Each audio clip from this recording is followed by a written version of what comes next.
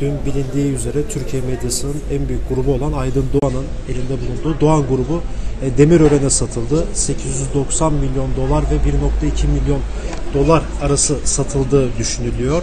E, Doğan grubunda Kanal D vardı, CNN Türk vardı, Fanatik vardı, Hürriyet vardı, e, Yaysat'tan Doğan Kitap'a kadar birçok medya grubu, medya içerisinde içerisinde bulunduruyordu. Bu durumu gazeteci Ayşenur Arslan ile birlikte konuşacağız. Öncelikle yayınımıza hoş geldiniz hocam. Teşekkür ederim. Ee, internet üzerinden e, yani e, ne kadar baskı yaparlarsa yapsınlar, bizi ne kadar susturmaya çalışırlarsa çalışsınlar, susmayacağımızı gösteren bir mecra üzerinden konuşmak Evet.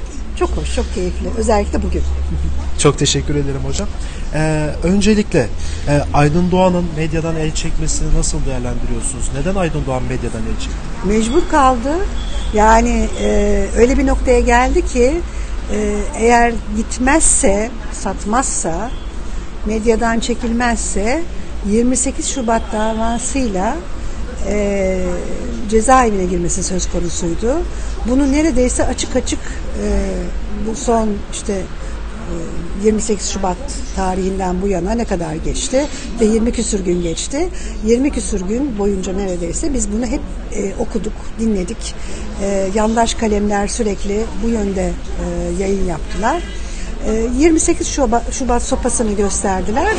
Aydın Doğan da anladı durumu, mesajı aldı. E, ve e, bugün kapa yapılan açıklamada fiyat da belli oldu. E, 1.250 e, yani 1 milyar 250 milyon dolar zannediyorduk. İlk öyle çıkmıştı haberler. Ama bugün anladık ki aslında 1.1 milyar dolar üzerinden bir anlaşmaya varılmış. Daha sonra bazı e, finansal borçlar indirim konusu olduğu için bu 890 milyon dolara inmiş. Şimdi az önce saydınız Kanal D bir prime time kanalı dediğimiz e, Türkiye'nin 5-6 ana kanalından biri. E, muazzam bir e, büyüklüğü olan bir kanal. CNN Türk, Hürriyet, hani grubun amiral gemisi yanı sıra e, medyanın da en çok satan okunan gazetelerinden biri. Keza Posta medyada e, en çok satan gazetelerden biri. Çoğu zaman birinci sırada. E işte yanı sıra dediğim gibi Doğan Kitap, D-Smart bakın dijital platform çok büyük yatırımlar yapıldı. TV2, Dream TV, e, Yaysat, dağıtım şirketi. Bütün bunların 890 milyon liraya gitmesi hakikaten Aydın Doğan'ın e, cezaevinde mi öleyim yoksa e, bu paraya razı olayım, çekin gideyim nok- seçenekleri arasında e, ne durumda olduğunu gösteriyor. 890 e, milyon dolara hürriyet ve postayı birlikte anca zor alırsınız. Yani ben ekonomist değilim, ekonomiden çok anlamam ama bu e, yayın grubunun büyüklüğünü, ulaşılabilirliğini, e, maddi e, hisse senetleri üzerinden bile baksanız anlıyorsunuz. E, çok çok ucuza gitmiş. Bu da e, baskının ve korkunun büyüklüğünü gösteriyor bence. Peki hocam bu e, satışı sırf e, Demirören'in Demirören'e yapılmadığı söyleniyor. Arkasında Katarların olduğu söyleniyor. Yani Tabii bunların nasıl- hepsi söylendi ama e, bu konuda en güzel e, tanımlamayı dün Twitter'da Kadri Gürsel yaptı. Kadri Gürsel dedi ki siyasi vekaletname ile Demirören e, bu grubu satın aldı dedi. Şimdi e, para e, bu miktarda bir paranın e, Demirören grubunda olduğunu e, düşünen ekonomist yok. Çok açıkçası. Ben dediğim gibi tekrar söyleyeyim ekonomiden çok anlamam ama anlayanlara soruyorum. Anlayanlar da diyorlar ki bu para Demirören'i aşar. Bu büyüklük Demirören'i aşar. Ha şimdi ne olur? Sabah e, gazetesinin e, alınmasında olduğu gibi e, bir şey e, kamu bankasından e, son derece ballı kredi dediğimiz bir kredi açılır. Sonra da hatta o ödenmez silinir borçlar vesaire olabilir. Ama ben e, Demirörenlerin e, dersiz başlarına tırnak içinde daha fazla dert açıp bütün bu grubun sorumluluğunu üstlenmek istediklerini düşünmüyorum. Burada sahiden bir siyasi vekalet var. Nasıl e, çalıklar vesaire e, bir grup e, havuz diye zaten onun için e, bir yakıştırma çıkmıştı ya bir havuz oluşturup sabah vesaire bütün o dergi grubuyla birlikte ATV e, satın aldıysa burada da gene birileri adına demir öğrenler aldılar. Bu Katarlar adına mıdır? Matarlar adına mıdır? E, efendim atıyorum tamamen Trump hatta almış bile olabilir mi? Hiç bilmem ilgilendirmez beni de. Burada önemli olan şu. E, bu satışın siyasi vekaletname ile olması. Bunun siyasi karşılığı önemli. E, seçime doğru tek ses isteyen iktidarın e, bu operasyonla birlikte medyadaki kontrolü tiraj e, açısından bakıldığında yüzde doksana çıkıyor. Düşünebiliyor musunuz? Yüzde doksana çıkıyor. Ha diyeceksiniz ki Doğan grubu zaten iktidara yakın değil miydi? E tam da değildi. Yani geçmişten gelen alışkanlıklar, e, gazeteciliğe dair o genetik kodlar e, arada bir e, gazetecilik yaptırıyordu. İşte Ahmet Hakan bile arada bir şaşıp e, gazetecilik yapıyordu. Ya da Ertuğrul Özkök bile arada bir şaşıp doğru dürüst bir şeyler yazabiliyordu. Dolayısıyla e, iktidarın e, çok memnun olmadığını biliyoruz. Daha önemlisi şu, e, Erdoğan, biz bunu zaten kendisinin e, anlattıklarından da çok net biliyoruz. Kindar ve dindar bir nesil istiyor ya, kendisi çok kindar bir e, yapıda öyle anlıyoruz. E, Hürriyet gazetesini, manşetlerini ve dolayısıyla Aydın Doğan'ı ve o dönem yöneticilik yapan Ertuğrul Özkök'ü affetmeyeceği çok açıktı. 29 Ekim resepsiyonunda saraya davet edilmiş olması Aydın Doğan'ı umutlandırmış. Öyle anlaşılıyor. Ama o umudun boşa çıktığını bugün görüyoruz. O gruptan bir tek Mehmet Ali Yalçın da ile sarayın sıcak, organik bir ilişkisi vardı. Onun dışındakilerle hiç arası iyi değildi. Zannediyorum bu nedenle e, Mehmet Ali Yalçın da bu e, satış işleminde pazarlığı yürüten, teması yürüten isim oldu. Hatta dün e, bu haber patladığında e, Mehmet Ali Yalçın'dan Demirören'in Erdoğan Demirören'in yanında olduğu duyumları değil geldi. E, e, biz e, hani hafıza e, unutsa da arşiv unutmuyor. E, Wikileaks'in ve benzeri e, eylemlerin diyeyim sonucunda biz ne öğrenmiştik? Mehmet Ali Yalçın da e, Berat Albayrak'la sürekli mailleşiyor ve e, kendi grubundaki kimi gazetecileri Berat Albayrak'a şikayet ediyor. İşte şuna bir türlü laf anlatamadık.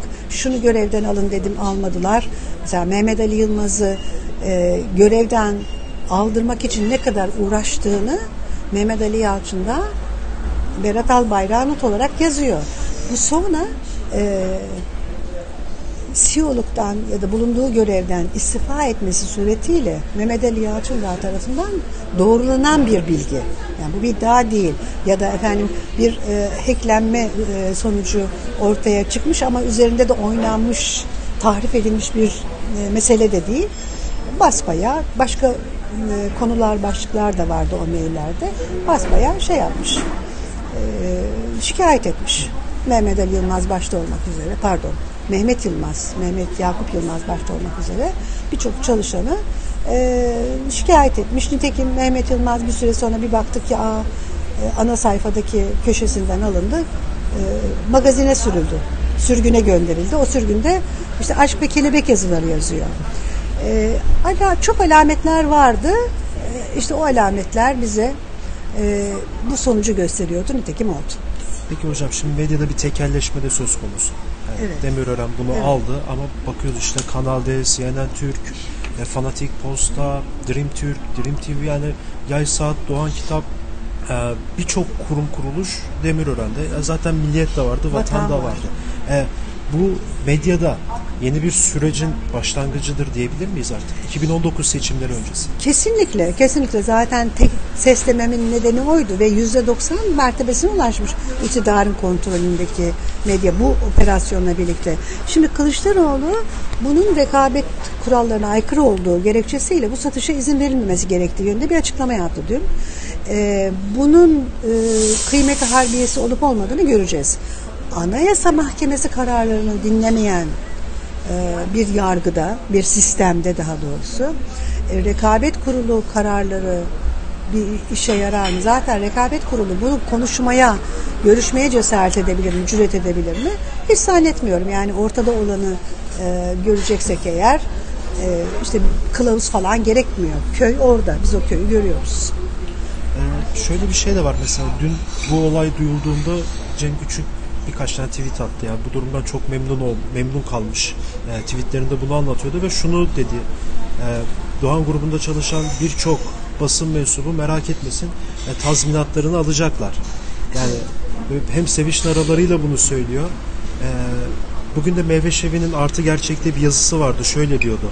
E, oradaki insanlara değinmiş. E, şimdi ilk baş Demirören grubu diyecek ki e, yolumuza devam ediyoruz buradaki çalışanlarla ama zaman geçtikçe 1-1, 2-2 işsiz gazetecilerin haberlerini okuyacağız. Belli bir yerden sonra biz buna alışacağız dedi. E siz nasıl görüyorsunuz bu durumu? Bunu Orada söyleyen çalışanlar ne olacak? Bunu söyleyen Mehve Şevin zaten tecrübeye ile sabit e, kendi deneyimine dayanarak söylüyor. Mehve Şevin milliyetteydi, kovuldu. Kadri Gürsel milliyetteydi, kovuldu. Şimdi Demirören grubu zaten aldıktan sonra içini boşalttı. Birkaç kişi kaldı. Ee, şöyle bir şey var. Cem Küçük'ten aslında söz etmek bile istemiyorum. Yani yerli ve milli meslektaşlarımız merak etmesinler, onlar korkmasınlar. Şimdi yerli ve milli tarifi e, eğer Cem Küçük'e kaldıysa zaten vah bu memlekete ya. Gerçekten vah bu memlekete. Geçelim. Ben yani hakikaten e, zül addediyorum bazen bunu söylediklerim. Ben de söylüyorum bakmayın. Yani dün akşam e, Maniki Dünya programında söz ettim. Ama bir anlayışı, bir e, bakışı temsil ettiği için söyledim. Ama onun ötesinde Cem Küçük kimdir yani neticede? E, geçiniz. Ama şu e, gerçek e, büyük ölçüde bir e, gene işsiz gazeteciler ordusu gerçeğiyle bir kez daha karşı karşıya kalacağız. Şöyle söyleyeyim, e, vatanla milliyeti aldıktan sonra Demirören grubu zaten sakıncalı elemanlar bir kenara. Onları attı zaman içinde peyderpey ayrı. Ama zaten e, çay ocağı hesabıyla, resmen çay ocağı e, ekonomik hesabıyla diyebilirim. Vatanla e, şeyin e, milliyetin mutfaklarını birleştirdi. Vatan Gazetesi'nin Ankara bürosunu kapattı. Bir tek temsilci kaldı. Ee, o da işte Erdoğan'ın gezilerine gider vesaire vesaire. Vatan Gazetesi'nde 5-10 kişiden başka kimse kalmadı. Şimdi e, aynı şey e, bu gazeteler Demirören grubuna bünyesine girdikten sonra olacak. Ben şunu söyleyeyim. Bunun arkasında kim olursa olsun biz bir süre en azından görünürde Demirören e, medya grubu olarak göreceğiz. Onun içinde göreceğiz. Ortada.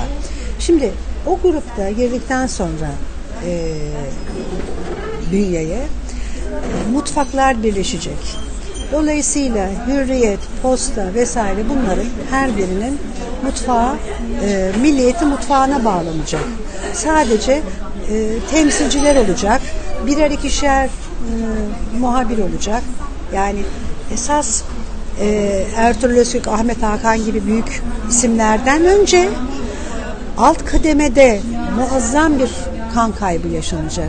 Ne kadar yerli ve milli olurlarsa olsunlar. Çünkü e, hele bu büyükteki bir satışta patronaj elbette elbette derken e, liberal ekonomi hatta neoliberal ekonomi koşullarında söylüyorum bunu e, kar marjını düşünerek e, maliyetten kısacak. Maliyette de biliyorsunuz her üründe olduğu gibi medyada öncelikle insandan tasarruf ediliyor. Her üründe olduğu gibi medyada da aynı şey geçerli, kural geçerli oluyor. Şimdi e, bir hayli de zengin bir e, kadrosu vardır. Doğan grubundaki şeylerin. E, gerçi şöyle söyleyeyim, benim dönemimden e, çok geriye gidilmiştir. E, zira muhabir sayıları azaltıldı. Bütün medyada bu böyle. Ajanslardan, işte Doğan Haber Ajansı'ndan diyelim ki, burada Doğan Haber Ajansı da satıldı. E, yani daha doğrusu satış paketinin içinde öyle söyleyelim. E, Doğan Haber Ajansı'ndan bir görüntü geliyor. Posta fotoğrafını kullanıyor. Hürriyet fotoğrafını ve bilgilerini kullanıyor. İşte CNN Türk e, bütün görüntüleri kullanıyor. Kanal D Haber o görüntüler, arşiv görüntüleri karışık iki atraksiyon bir bilmem ne grafik derken baş- ama malzeme bir yerden geliyor. E, mutfaklar küçüldü. Yani CNN Türk'te doğru dürüst muhabir kalmadı, işte Kanal D'de kalmadı vesaire. Bir de şundan tabii bu hem zaten e, bütün televizyonların keşfettiği bir tasarruf yöntemi olduğu için hem de e, açıkçası haber artık tehlikeli bir hale geldi hale aldığı için. Haberi biz nasıl alıyoruz? E, Erdoğan'ın uçağına binen, Erdoğan'ın sofrasında oturan, Erdoğan'ın muhatap kabul ettiği bir takım isimler var. Onlar bize çıkıyorlar diyorlar ki böyleyken böyle. Onun ötesinde efendim işte Afrin'den bildiriyor filan e, gazeteci. Hadi canım sen de nerede bildiriyor? Gidiyor orada söylemesi gereken neyse ona zaten bilgi olarak sunulmuş onu söylüyor. Bağımsız gazetecilik mümkün mü günümüzde? Değil. E, bunun Demirören grubuna geçtikten sonra daha da e, belirgin bir hale geleceğini düşünüyorum. E, çalışan kadrolarda muazzam bir azaltma olacaktır. Ondan eminim.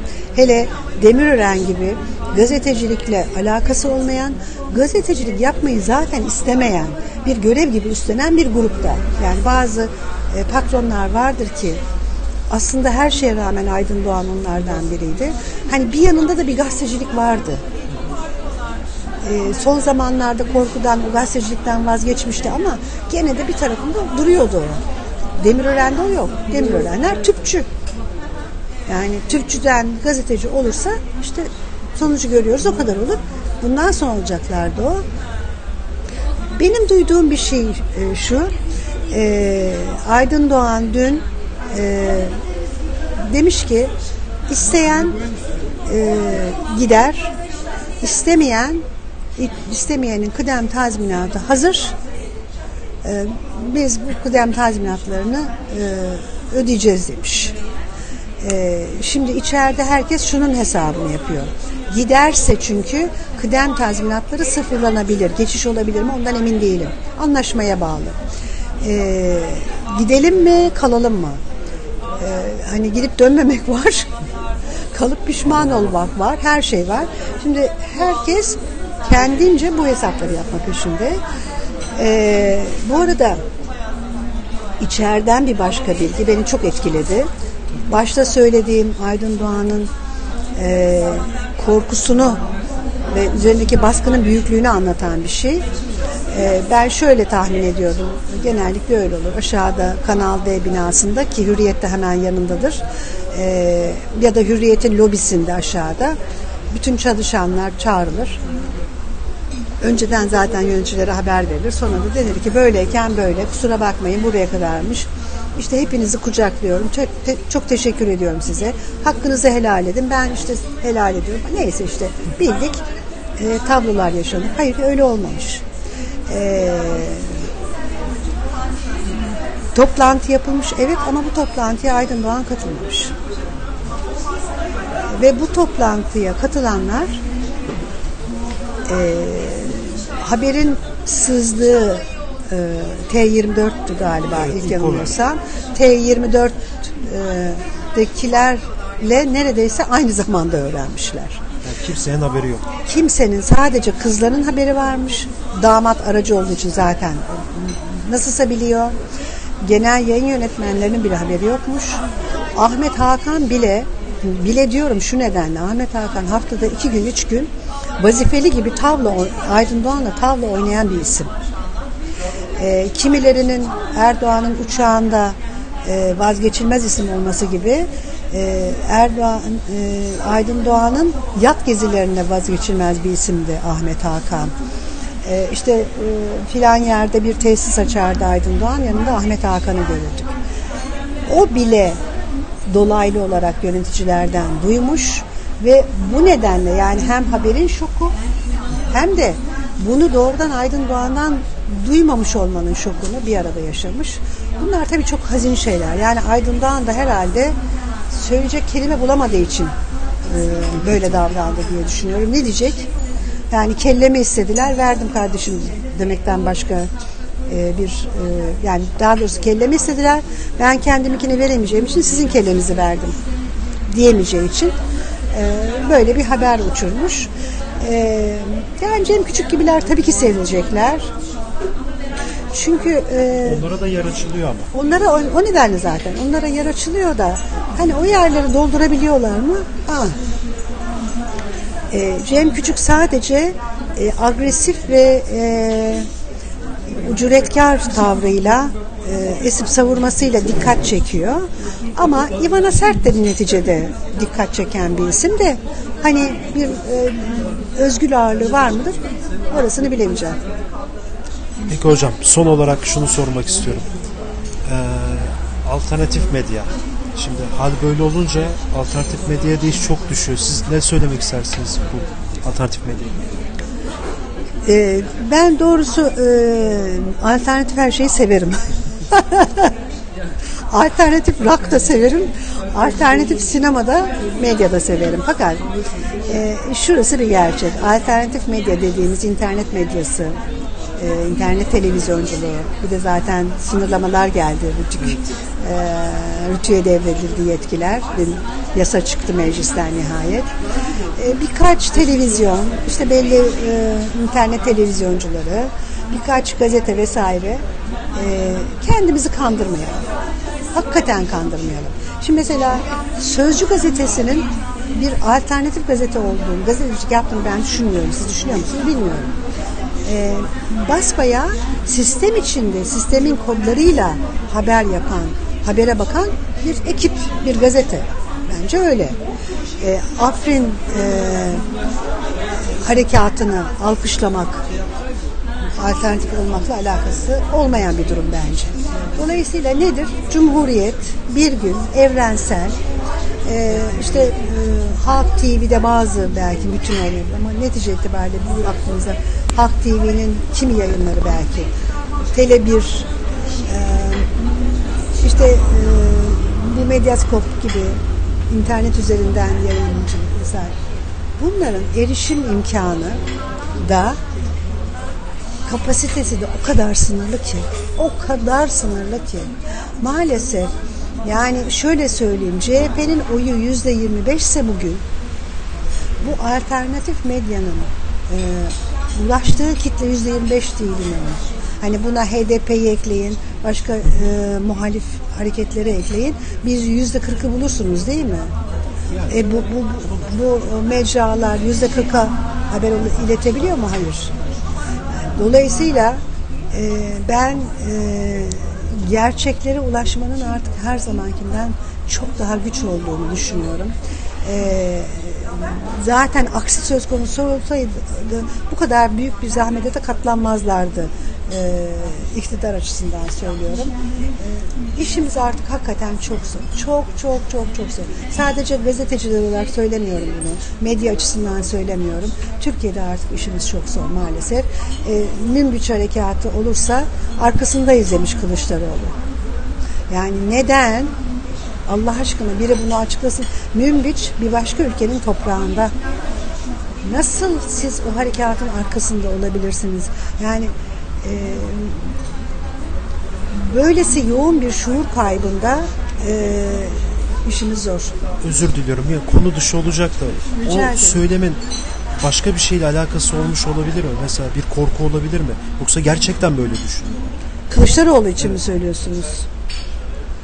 Vallahi ikisi birbirinden vahim bu seçeneklerin. İkisi korkuyorsa çok vahim.